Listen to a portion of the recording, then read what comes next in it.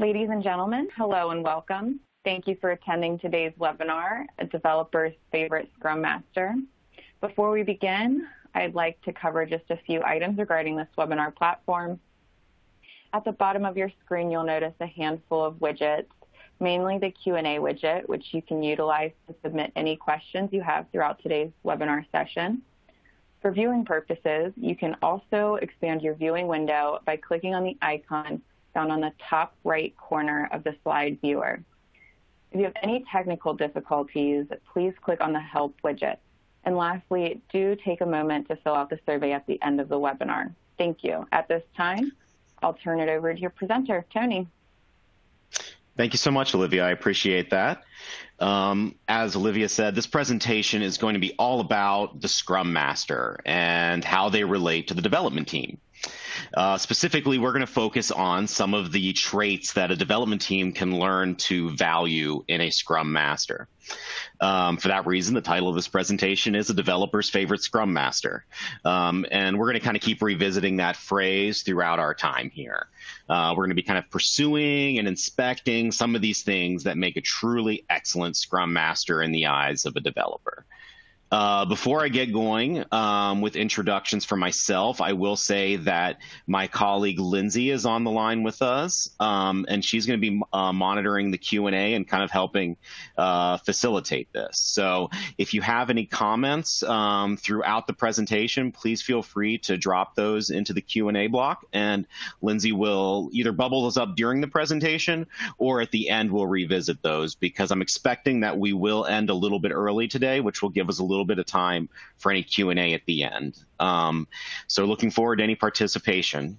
Um, so, for those of you who don't know me, my name is Tony Lunt. Uh, I'm an architect in the apps and infrastructure team here within Insight Digital Innovation. I've been with the organization uh, for a couple years now. Um, it, my my background is as a full stack developer before I joined Insight. Um, uh, primarily weighted towards the front end, but I've always kind of been a little bit of everywhere um, from a full stack perspective. And over the last few years, I've kind of moved into a role that focuses primarily on DevOps engineering and architecture. Um, and I'm also become very interested in how that plays well with Agile and how DevOps and Agile go hand in hand, and some of the really interesting things when we pursue both of those things in a joint type of fashion. I am also a certified professional Scrum Master, um, but I but it, it's rare that I serve in that role. Um, but um, I do geek out over this stuff, and I'm super passionate about this. I, I, I, love working with teams and figuring out more about how they work and the people that make up those teams. I'm a I'm a people person, and so this is a, a really exciting uh, presentation for me to be giving. I'm, I'm I'm super excited to have your time, and I really appreciate you joining. Uh, more importantly than myself, um, I wanted to show off some of my four-legged members of the family here. Uh, my wife and I have a couple dogs. Um, Dolly Parton is a name I give her full credit for. Uh, I also have a dog, Scully, and uh, two ferrets that share this uh, workspace with me, uh, Zoe and Kirby. Um, but they are locked away right now, so they will not be making any cameo appearances, hopefully. Um, so just to lay some groundwork for what we can expect today. Um, so we're going to expect observations based on real examples. So I am not coming to you as a Scrum academic. Um, I'm not coming to you with a lot of quotes from the Scrum guides or from a purely, you know, tactical perspective. I'm coming to you as a developer who has served on a number of Scrum teams, and these are based off my experiences and some of the learnings we've had within Insight as a whole. Um, so hopefully, I'm going to say some things that you agree with, um, and that you can get a lot out of. And I might say some things you disagree with, and that's okay. I know sometimes we uh, kind of frown upon the idea of uh, disagreeing with presenters, and we kind of leave that kind of conversation to hushed whispers around the water cooler afterwards. But uh, please feel free to openly disagree. If you have comments, please drop them in the chat. I'd love to hear it. There might be cases where I'm just not right, or it might just be that we have a different perspective and we've had different experiences that have led us to different conclusions over our career, and that's and that's great. Um, another thing you might expect from me is is some nerdy fictional references. I do have a bad habit of uh, breaking into metaphors from pop culture or science fiction. Um, I will try my best to keep that under wraps, um, but I won't guarantee that it won't happen. And then finally, discussion. I know in this format, um, our discussion is primarily kind of relegated to the written form and Q and A, but we openly welcome that. Um, so please feel free to share as much as you would like. So, uh, before we start diving into the meat of our presentation, I kind of wanted to open this up with a discussion for our Q&A just to make sure everything's working here. Um, so in one word, what is a trait of an effective Scrum Master? There is no, uh, there's many answers. There's no wrong answer, so to speak. Um, but Lindsay's going to be watching the chat and is going to join in with some observations from there. I will say, just um, while we're waiting on answers, there is a slight delay of about one second or so um, from my speaking to getting over to you. So um, if it seems like we're pausing during discussion points, it's just because we're waiting for uh, everything to catch up in the system. But we'll try to keep things moving here uh, pretty smoothly. Um, the I, I, I really like to open up with this kind of question because it helps get a good understanding of what kind of perspectives we're bringing here today, um, and everybody kind of has their own experiences and things that they value in their team members, especially their Scrum masters, if they've worked in that type of environment before. So I'm really looking forward to hearing some responses. So, um, Lindsay, I'll go to you. Do we have anything from the chat? We do have several things from the chat. So we've got some really good comments um, of service, experimenter, communicator, mm. listener, guidance, teacher. Yeah, those are all, yeah those are all great, great responses. And I think that that kind of goes to show, you know, there's a lot that we can expect from a Scrum Master. Um, and it's a very challenging role, obviously. Um, and, you know, a lot of these things are things that we would expect from anybody that we work with, um, anybody on a team. And hopefully they're things that we expect from ourselves. Uh, but I think a Scrum Master, particularly, is in that central role within a team that it's very important for them to be able to be all of those things to the people on their team and to understand what the needs of the team are. Um, so we really appreciate that participation. Um, I'm going to go ahead and, and jump into one of the first kind of characteristics of a Scrum Master that we're going to talk about. And that is be a mentor and not a manager. Um, this one I'm going to spend a little bit more time on than the rest of the characteristics that we're going to talk about. Uh, because it is so foundational to everything else. Um, and I'm also going to be a little bit more rooted in the Scrum Guide than than than, than the rest of the presentation. Like I said, I'm trying to keep this as unacademic as possible, but I want to build a really solid foundation for the rest of this presentation. Um, so to get into what I mean by this idea of being a mentor and not a manager, um, let's look at what the Scrum Guide says. So the Scrum Master is a blank for the Scrum team. If you know it or have a guess, please feel free to drop it in the chat. Um, as we know, the Scrum guides are fairly loose in their structure. Um, it gives you room to mold your team to the needs of your organization, but it is very prescriptive in regards to how the different members and roles within the Scrum team interact with each other. And so there is a very unique phrase that it uses to describe uh, what the scrum master should be to the scrum team and that phrase kind of encaps- encapsulates a lot of what we're going to talk about today. A lot of these things that I'm going to be talking about that are more subtleties and off the beaten path are nested within this phrase. So, Lindsay, have we had any guesses yet come through? We've had several guesses. So we have had, let's see, one, two, three, four people guess servant leader. Um, and mm-hmm. we've had uh, another submission of shepherd. Shepherd. Oh, I like that. That is a really good answer. Uh, it sounds like, um, and, and, and this is again something where it's not that you're wrong when you say shepherd. That's very true, and I think that's a great a great um, observation. Um, the the answer from the Scrum Guide is that servant leader answer that we heard a lot of people say. Um, but I think it, it really does a good job of describing what the Scrum Master is to the team. There isn't a hierarchy there, right? This the development team doesn't report to the Scrum Master. The Scrum Master is there uh, to support the development team. So, a servant leader is a phrase you've probably heard before, um, but it probably can mean different things to different people. Um, leader does not need does not mean manager. Um, that's obvious, but um, a lot of times the Scrum Master role turns into more of a manager than a servant leader, and and, and there's some danger there, which we're going to kind of start to dive into here. But first off, just to level set on what servant leadership means, this is a quote uh, from from the uh, Greenleaf Center for Servant Leadership. Um, Servant leadership is a philosophy and a set of practices that enriches the lives of individuals, builds better organizations, and ultimately creates a more just and caring world. I apologize for just you know reading a quote off a slide to you, but I felt I saw this and I, I felt like it was such a perfect encapsulation of what servant leadership is. And this is something that's separate from Scrum and Scrum guides. This is an actual definition of a servant leader, and it can apply in many different types of scenarios and teams. But at the end of the day, we're build we're we're building these teams out of people. And if we can and, and so by focusing on that human dynamic and trying to build a better world around us it's uh, it, it often leads to a lot of the uh, characteristics that we would want within a team.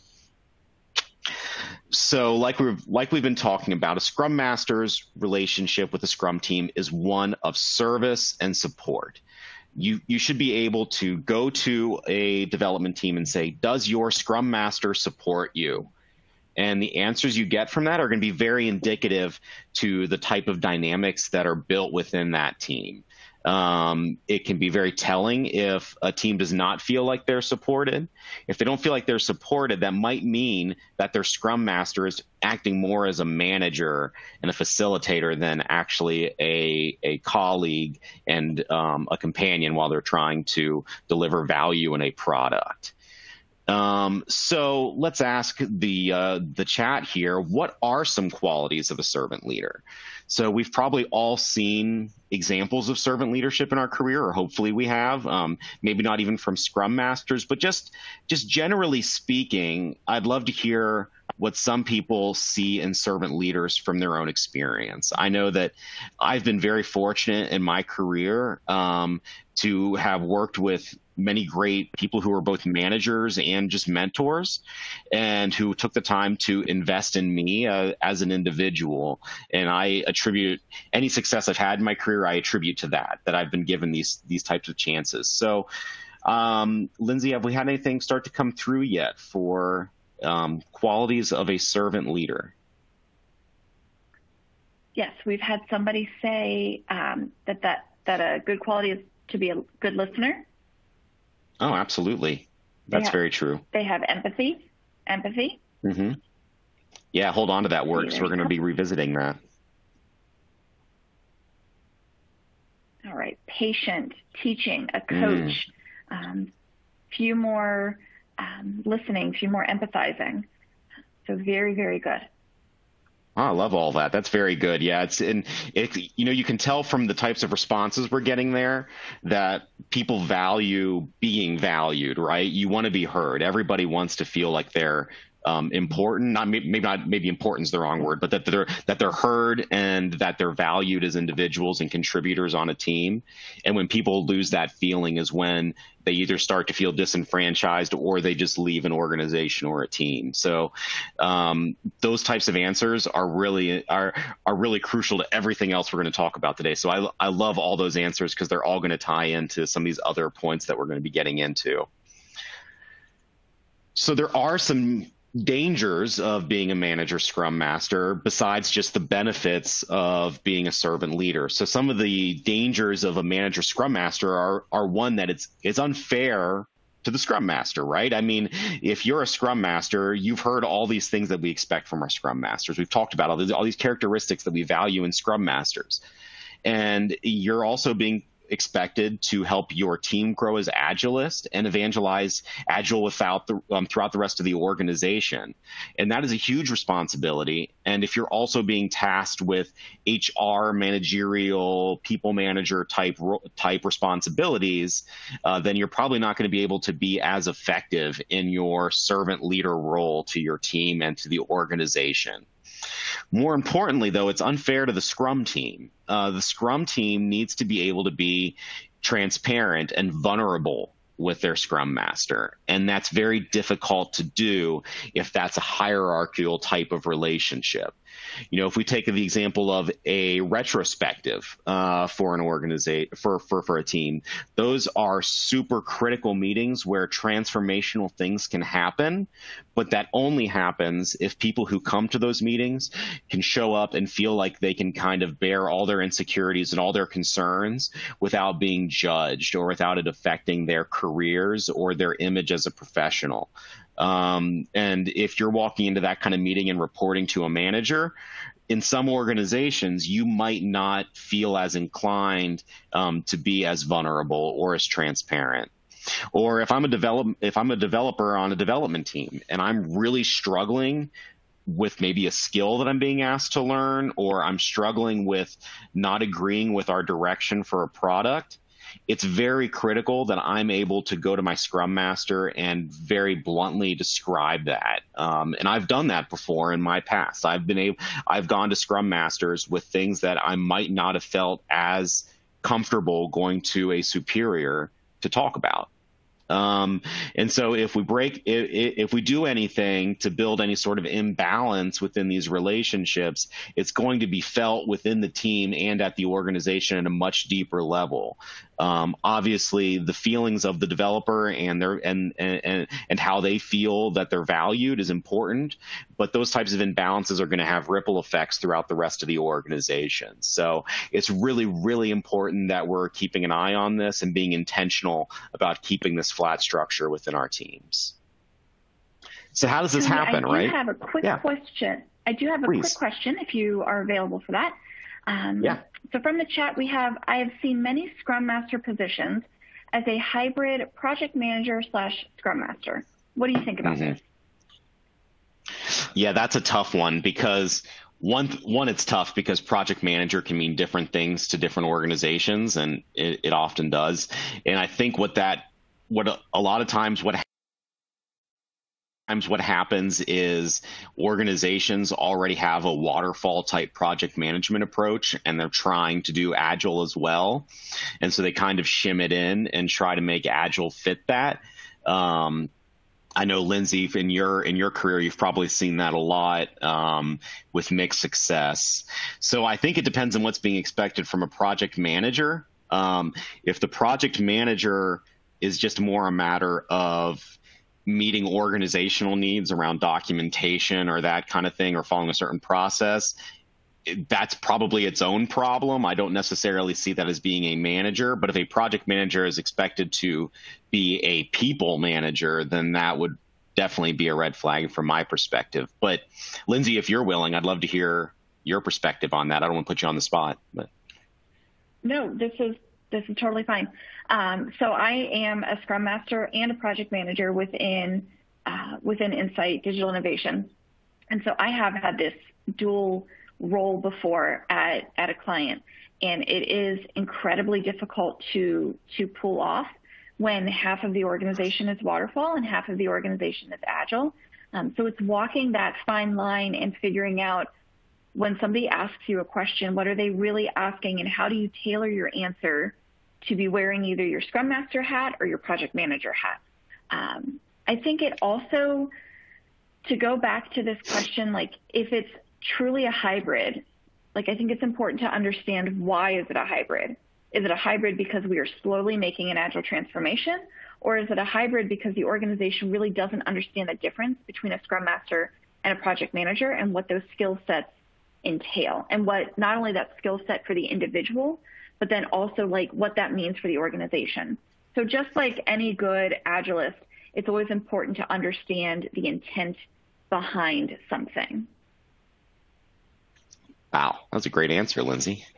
Thank you so much for chiming in there. I appreciate that. Didn't mean to put you on the spot, but Um, all right. So moving forward, how do these types of imbalances happen? Um, so, I mean, in some cases, it might be the Scrum Master misunderstanding the role. Maybe they're new to it. Maybe they got thrown into the Scrum Master role without a lot of education. So maybe they just fundamentally misunderstand. I mean, that that that happens, but in my experience, it's often because of organizational needs or dysfunction, kind of like we've talked about here, where the organization wants to become agile, but they don't really understand it. And so they just assume that the scrum master should be a manager. I mean, look at put put yourself in the shoes of of an executive level or higher person who's uh, looking at scrum and saying, "Okay, we do scrum you're the scrum master. That must mean you're everybody's boss. I mean, that is a totally logical assumption to make if you don't know more about it, but that's where it comes back on us as agilists to educate the organization and help them understand how the team dynamic should be built. Um, so just kind of something to watch out for. And to help with that, let's kind of talk through what some of the symptoms of a manager scrum master might be.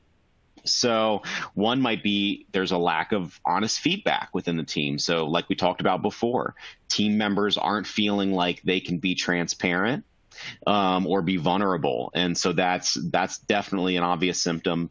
Um, or if teams are going to the Scrum Master for permission for things, um, that also um, can be a sign. You know, they might be going to the Scrum Master for guidance a lot, hopefully, especially when they're a newer team. But if they're actually having to ask the Scrum Master for permission to do certain things within their for their role, that might be a sign that that Scrum Master holds a little bit too much power within the team. Um, and then, or if the scrum master is performing HR duties, that's obviously a, an obvious one, but that's something you can look out for. We see it a lot where, you know, scrum masters might have to approve timesheets or approve time away and all these other managerial type things that we typically associate with a, with a manager. Um, or if the daily stand up is a status report. If you go to the stand up and everybody's looking at the scrum master and just delivering a status to the scrum master, um, that shows that we're not understanding what the stand up is for. The stand up is for the team to understand where things are and to communicate with each other. And it's not just for the benefit of the scrum master. In fact, as you probably know if you're a scrum master on this call, you don't even need to be there at the stand up. Um, but observing behavior at these meetings can often show, um, can often reveal a lot of the dynamics that have built up within the team. So even if you don't see yourself as a manager, scrum master, it's good to keep an eye on like what's the dynamic? How are people um, reacting to me during meetings? Do they feel like I'm a manager? And maybe you can take steps accordingly to to to, to address it. Um, you know, when I think about great mentors, um, in, in, if, if, we look at like Star Wars, for example, I said there'd be nerdy references here. I think I think Jedi Masters are are, a perfect example of a mentor uh, because while they are there to guide, um, you know, they're they're Padawans, apprentices. Then they're also just friends with them too, and they're and and and and they kind of let them make their mistakes if they need to, um, but they're still there to help guide them without just giving orders. So, if we move on here focus on the benefits of Scrum and not just Scrum itself. Um, so, what do I mean by that? Well, Scrum doesn't exist for its own sake, right? Scrum exists for real reasons, and the reasons are good, right? I mean, hopefully, we all believe that if we're invested in this process.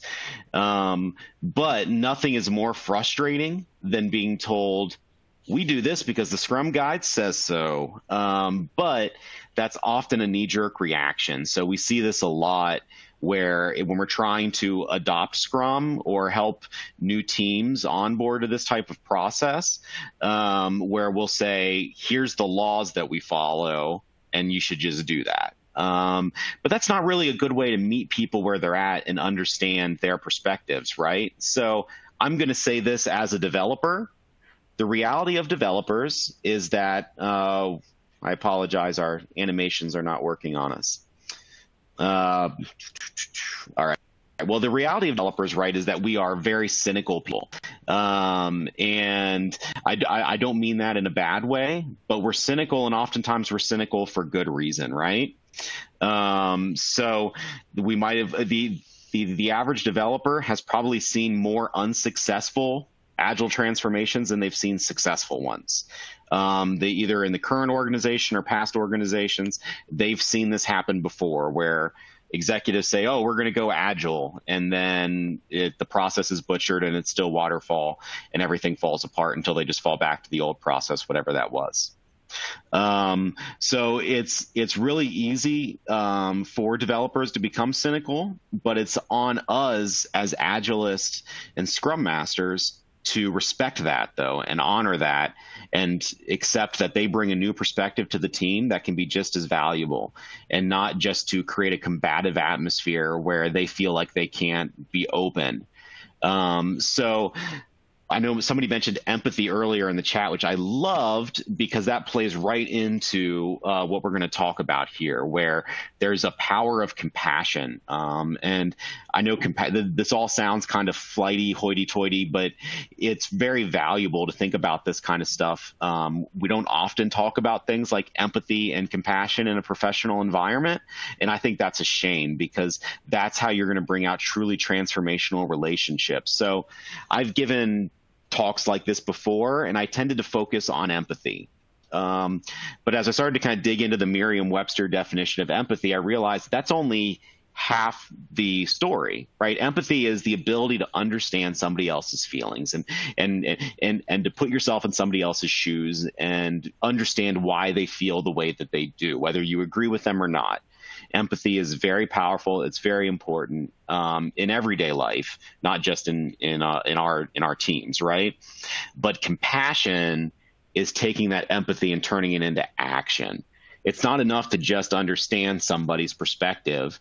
I can understand a lot of perspectives of people I disagree with, but have I gone the extra step to swallow my pride and then show compassion towards that person, meet them where they're at, where they're at, and react accordingly? Because that's how you build true alliances and true friendships. And Agile and DevOps are all about bringing people in and enabling them to be the best that they can be. Uh, so if you're not using compassion on a daily basis, even when it's hard, even when it's difficult and you're dealing with difficult people, then you're going to have a hard time building those kind of cohesive teams and not just one or two allies here and there. Um, so that's something I really like to spend a lot of time thinking about is what can I do more to show compassion on my teams? Um, and it's it's really easy when you have these skeptics on your team to just throw up your hands and say, we do Scrum and Scrum is Scrum, so let's just do Scrum and this is what the Scrum guide says. But that's really not a way to actually build any sort of meaningful relationship, right? Um, so let's uh, moving on let's look at what some of these symptoms of a legalistic Scrum culture might be. So, uh, if the Scrum Master quotes the Scrum Guide as a solution to every problem, I mean, obviously, if you're a Scrum Master, you might be educating people and sharing the Scrum Guide with them. Hopefully, they've all read it. But just quoting it um, as law on your team uh, probably is not going to be a great way to bring people in who are already skeptical. Uh, just because something's written down in a guide doesn't mean that every developer is going to just go along with it. They need to understand the real benefits. Or if team members can often be heard saying, I don't know why we do this, right? I mean, we've all heard this before in different teams where everybody's shuffling in for the stand up or a review, and you'll overhear somebody saying, oh, I don't even know why we do this. Um, and I think that can be a sign that the real benefits of what we're doing haven't been properly espoused throughout the organization or if the scrum master is seen as a rule enforcer. So obviously, I mean, this is kind of you know, take it with a grain of salt. You are there to help facilitate proper agile processes, uh, but you're not just there to uh, force rules upon people. You're there to help them grow and to help the the product succeed and the team succeed. So then, moving forward, let's talk about some more characteristics of Scrum Masters. Don't misrepresent our challenges or successes. So, what do I mean by this? A lot of times, um, a scrum master can view themselves as being a public relations manager for the team. Um, but the role of the scrum master is more to help the team and the organization grow, right? So um, I've seen a lot where through purely good intentions, good scrum masters feel like it's their job to take cover for the team or play defense for the team or shield the team's challenges from the organization so that nobody has any misgivings about the team or the people in the team or the process. Uh, the the danger there is that the scrum master is also supposed to be helping the organization grow and helping the team grow. And so if you view it as your job to play defense, then you might not be, then you might be kind of getting in the way of some of those conversations that actually need to happen. Um, so if we downplay these challenges, we're kind of stifling the team's ability to address them, right? Or, you know, transparency is always better than false safety. Um, but one of the things that we'll often see, though, is that if there are deep, deep challenges within an organization, the scrum master or anybody on the team, if if it's a if it's a if it's a high challenge type of environment, they may not feel safe bubbling those challenges up and talking about it. But you might have people on your team who have good solutions for those problems that they'd like to propose to the organization. But if the scrum master is playing defense and not bubbling these things up, it's going to be super hard for those people to get in front of the right voices within the organization to explain how how these issues can be fixed or on the flip side of that if you're the if you're just a rock star team and should be the model scrum team for the whole organization the value from a scalability perspective is not in how awesome your team already is. It's how you got there. So, you know, to take a, a really silly example, if we were to go to a Olympic gold medalist and ask them how they won a race, they're probably not going to respond with, I went out there and I ran really fast and then I won and it was awesome they're going to say, No, I've been at this for years. I've been practicing. I've had coaches. I've had mentors. I've had failures. I've had injuries. And here's how I've reacted to it and how I've grown. And here's what I'm going to do next to keep growing. And here's what's next for me. So it's more, and, and, and, if you were wanting to emulate that, the value would be in those lessons and how they got there. So we need to allow our teams to be perfectly transparent and say, if we're effective, it's because we tried really hard and we had to learn a lot of really tough lessons and have a lot of really tough conversations within our team to get there. And so the value to the organization is being able to bubble those kind of things up, right? So some of the symptoms that you might have a public relations scrum master, and I apologize, our, our animations are still giving us some some problems here. Let me see if I can bring this up. Nope, I apologize. Um, so some of the symptoms that you might have a public relations um, type of scrum master are that the organizational leaders are unaware of the team's challenges um, or the uh, scrum master controls all the messaging between the team and the organization, right? So I've seen that a lot where the developers on a team never actually speak to anybody else in the organization of um, at least not at a at a higher level. Um, a lot of times the scrum master will be entrusted for delivering status reports or something to the organization to help push it through. Um, so hopefully, if you're if you're a scrum master who's not afraid of transparency, you're totally okay with the development team going directly to the organization and talking about the kind of things that are going on, right? Um, or if the team members no longer feel empowered to propose solutions. Um, so, like we've talked about, your team members need to be able to call out uh, dysfunction within the organization, but also propose those solutions. And if they're not doing that, that might mean that they're not that that they don't feel like they're being heard. So, moving forward uh, to these next uh, uh characteristics of a Scrum Master that we've been talking about. Next one is cultivate a culture of positivity and new beginnings. And this kind of builds more on the last couple things we've talked about, uh, but particularly how we've, how we've been talking about empathy and compassion, right?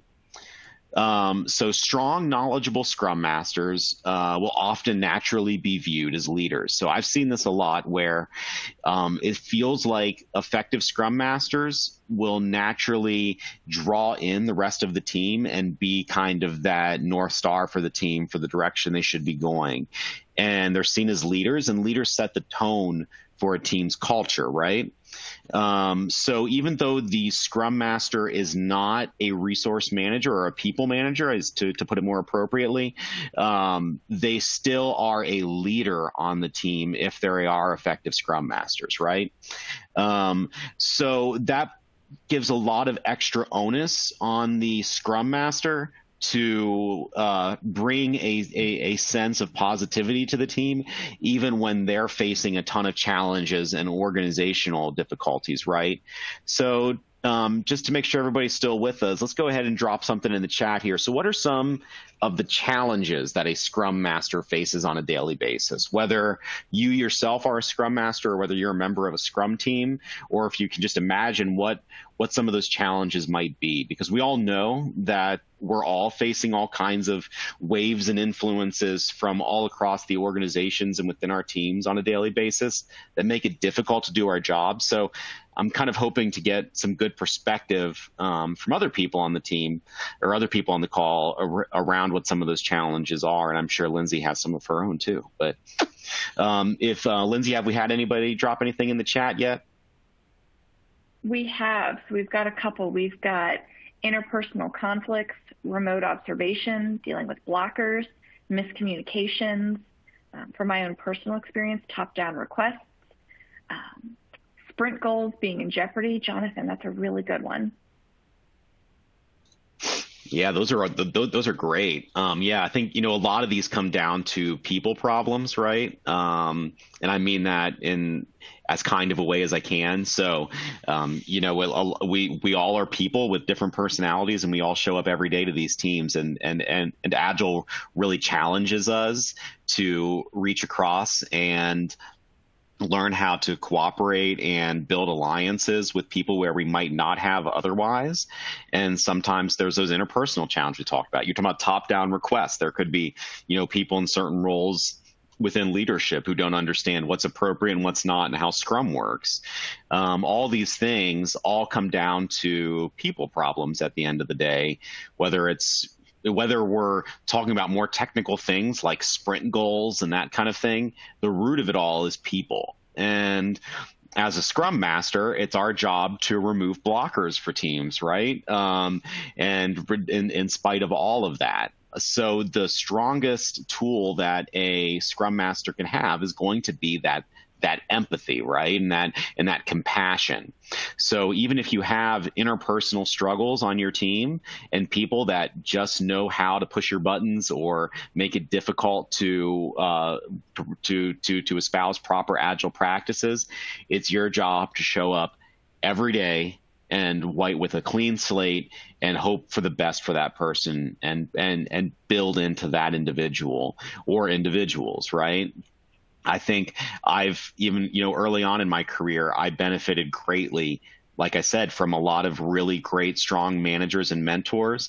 And I know that uh, you know, some people really had to swallow their pride and and and keep giving me second chances. And I personally have have grown as a person because of that. And I could just as easily had somebody throw up their hands and not want to deal with that. So it's really powerful things can happen when we're willing to give people second chances, even when we don't feel like it. So treat every day like a new beginning for your team, even if you feel like your organization is never going to adopt this, your organization is never going to understand. If you as the scrum master come every day with an with an expectation that yes, maybe this can work, um, then your team will naturally follow along with you as a leader and with your attitudes. But if you become cynical and snarky yourself about how the organization is, your development team will definitely go along with you because we love to be skeptical and cynical people. As a developer, I'm saying that. So be the role model for the team even when you don't feel like it, right? So Scrum Master never stops giving chances, never stops believing in the value of each team member, and never stops trusting the value of what we're doing. So that's super important. And I think if if we could do anything out of this, I think that would be the biggest thing. Have compassion and treat every day like a new day for your team.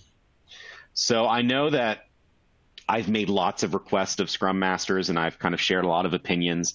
But I don't want this to come off as as a gripe fest towards Scrum Masters by any means. So I kind of want to end this on a uh, on a more positive note. Um, this will be the last characteristic we talk about here. So again, if you have any questions or comments, please drop those in the chat, and we will get to that here shortly.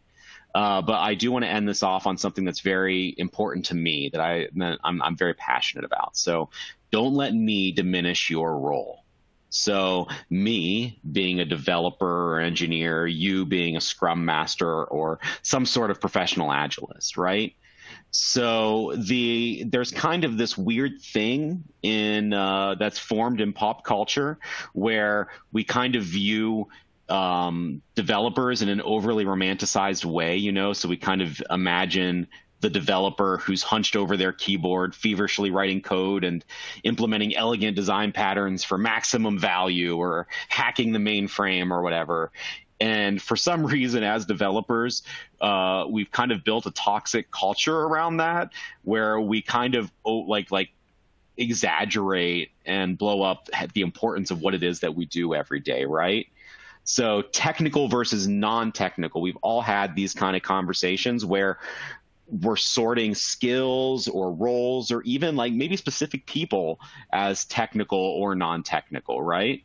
Um, and the danger of that is that some developers, when they hear that, they're hearing valuable versus non-valuable, and that's obviously not what that means. But if you have an overly romanticized view of what it is that you do as a developer, then that then then that kind of thing can happen a little more easily than we would expect. Where if we hear about you know compassion or empathy or you know anything about agile processes or concepts, we think oh that's that's just for the scrum master to worry about. I just write code and show up to meetings when I have to. Um, and and that kind of attitude really is dangerous because at the end of the day, um, if elegant code was the most important thing in the world, there would be many more successful startups. Like tech startups would be the safest investment any of us can make uh, beyond anything because uh, tech startups have great developers for days and have great code for days um, that could that should theoretically be all they would need to succeed but as it turns out it's how we deliver our value and the organization around that that's also just as important if not more important um, so that's just and, and and and as it turns out too, um, how we do that is even more technical maybe. It's so so so this idea of technical versus non-technical, if you hear those types of phrases being used within your organization, maybe push back and dig a little bit to see what people actually mean. When they say non-technical, what do they mean by that? Uh, because it might not actually be as valuable of a distinction as we think it is, right? Um, Scrum Masters are uniquely positioned, right? We can impact organizations or teams or individuals. I've already spoken about this, how I've benefited as an individual and my career has grown, which inherently has made my life in general better because I've had great mentors and managers, and a lot of those have been scrum masters. Um, also, teams. I've been a part of some great productive teams who had great scrum masters. I've also been part of teams that were not as successful um, but thankfully, in my recent career, um, over the last few few years, I've been very, very fortunate and blessed to have great, excellent Scrum Masters. Um, and then organizations in general can grow or or fail as a result of the uh, of the teams that make up that organization, and the Scrum Masters play a central role to that team. So, I guess in summary, what I'm trying to say is that you are awesome, you are valuable, you are money. Um, so please do not let um, anybody tell you otherwise or pretend that non-technical somehow means less valuable. Um, so please keep being awesome. Keep being you, keep being great Scrum Masters because what you do is vitally important um, to our individual careers and to our organizations and teams. Um, so that is all I had today. I want to give sincere thanks to everybody who attended and for um, Olivia for for um, kicking us off here and facilitating all of this. I know she's put in a lot of work into getting this all running for us. Um, so I, I genuinely appreciate that, Olivia and Lindsay, uh, for being here to help keep me honest and moderate the chat. Um, before we close out here, Lindsay, do we have anything from the Q&A or anything you'd like to say? Um, no, just again, a giant thank you to everybody for participating. Um, one question that we do have is, um, can you think of an example where you were shown empathy in your time as a developer and how that impacted you? Yeah, for sure. Um, I've been a part of some really challenging projects, uh, both in my recent career and also in um, b- before this and other roles I've been in. And like I said, I'm a developer who's naturally skeptical and cynical, and I'm fighting that tendency every day. Um, so I've had some great scrum masters who've really been able to um, show me second chances, even when I feel when I when I've been a kind of a difficult member of a team, and um, or if I've had insecurities about the direction of a project. Um, you know, I've had a scrum master take me out for coffee after work before and just sit down and talk through things because they could tell I was struggling that much. Um, and those are the kind of things where, you know, like like I said, I think I think deep down what most of us want um, out of a job. Obviously, we want you know finances and stability and stuff, but we all want to feel valued, right? And I think that is probably the most important thing to us after our basic needs are needs are met as humans. And I think that is what kept me in some roles where I might have otherwise been tempted to leave. Um, is having scrum masters who have been willing to take one-on-one time with me and hear me as an individual. So now I try to do that same thing, even though I don't serve as a scrum master. I try to do that same thing for people that I'm on teams with. So fantastic. So we do have one more question that came in through the mm-hmm. chat. Um, looking for a book recommendation on for the Scrum Master on bringing challenging um, personalities or teams together or introspection needed as a Scrum Master. Not sure if you have any recommendations. If not, I've got a, a couple that um, yeah, I'd be willing to um, Great. I would love to hear though hear your recommendations. I'm like like I said, I'm not a Scrum academic, but I can tell you that um, from my perspective, I've um, I've read some some books that have helped me from a non-agile perspective that still have a lot to do with it. Um, you know, there's the classic book of How to Win Friends and Influence People. I'm not joking. That is an excellent book if you haven't read it, and it'll help you understand a lot more about you know the interpersonal dynamics between people. Another one that's more of a technical book um, is called The Phoenix Project, and I am so sorry. I'm double checking on the author right now. Um, the Phoenix Project by Gene Kim. Uh, he uh, it's a it's a book that is all about um, kind of DevOps more than anything, but a lot of these same things kind of tie into Agile, but it has a lot to do with that human factor. But it's actually a novel, it's a fictional novel that's used to teach DevOps concepts. And a lot of that goes hand in hand with Agile concepts. But in regards to Scrum to Scrum and Scrum mastering specifically, I'm sure Lindsay has great suggestions. Sure. Um, so the one that I found super helpful was it's called Scrum Mastery from Good to Great by Geoff mm. Watts, and that's Geoff with a G. Um, so it uh, it really is helpful in understanding what you can do to to take your Scrum Mastery to the next level. Um, we have another. Um, thank you, Lisa. She just dropped in here the Unicorn Project um, is her oh, recommendation yeah. as well. So um, I personally haven't read that one, but hopefully between these four recommendations, there's um, something that will will work for you. Absolutely. Great. Well, thank you so much for that question. Uh, Lindsay, was there anything else we needed to cover here? I think that's it. Um, no more questions have come into the chat. Okay. Well, thank you so much, Lindsay. I really appreciate you kind of managing the Q and A. Um, that was very, very helpful, um, and for giving your own insight. Um, so, Olivia, I think we turn things back over to you at this point. Is that right? It is. Thank you. Thank you. So that concludes today's webinar. We would appreciate if you took a brief moment to complete our survey if you have not done so already a big thank you to the presentation team today and to the attendees. Thank you for the time and opportunity to come together. With that, we'll turn you back to your day. Thank you. Thank you so much, everybody.